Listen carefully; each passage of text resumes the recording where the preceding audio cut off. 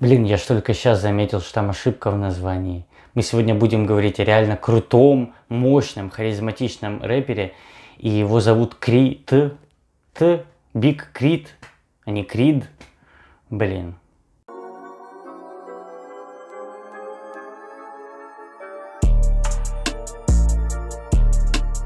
Привет, рэпчада, это Рэпостол. Если следовать логике, реально крутой МС сможет подстроиться под абсолютно любой бит, то Crit к этому времени уже должен быть причислен к лику святых. Его 12 for 12 это хрестоматийный пример микстейпа, где рэпер использует популярные инструменталы, чтобы раскрыть на них свой скилл. Криту показалось, что хотя бы просто не обсериться на хитовых треках недостаточно, поэтому он дополнительный себе челлендж придумал, писать все куплеты фристайлом и выкладывал их каждый час.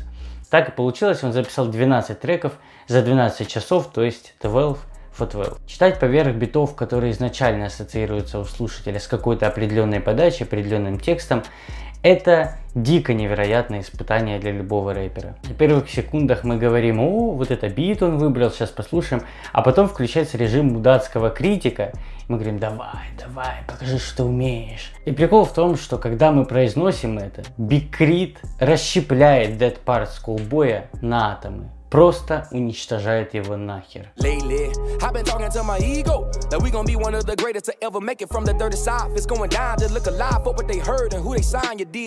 Мне всегда казалось, что этому треку не хватает динамики, он идет 5 минут, и Скулбой тянет слова. Крид вообще не пытается подстроиться под flow Скулбоя и по-своему, харизматично, без передыха месит этот бит. По сути, он жонглирует довольно привычными flow. Мы можем слышать их у Ламара, у многих ребят из новой школы.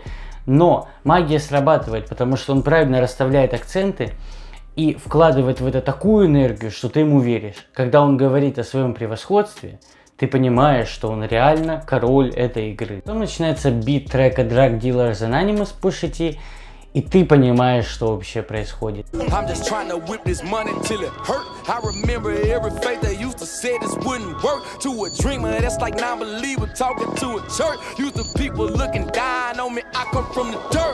Крит использует эти популярные инструменталы не для того, чтобы выехать на них. Он наоборот использует их, чтобы соревноваться с сильнейшими рэперами наравне. Сам подбор инструменталов позволяет ему показать разнообразие.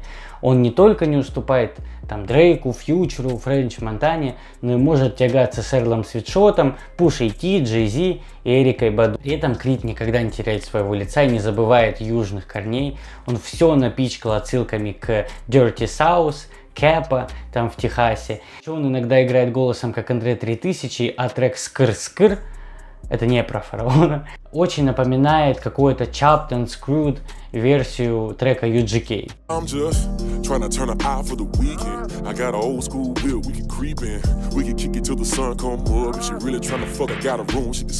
Сейчас Крид перевыпустил этот микстейп с названием Style Not Quite Free, но там весь эффект теряется, потому что там другие биты и там нет эффекта соревнования. А на 12 at 12 как раз сырой фристайл без припевов и это четкость мысли, это мощная энергия, и это все великолепие в 12 куплетах. Обязательно послушайте этот альбом, подписывайтесь на репостл в Инстаграме, в Телеграме, в Ютубе и молитесь за репостл.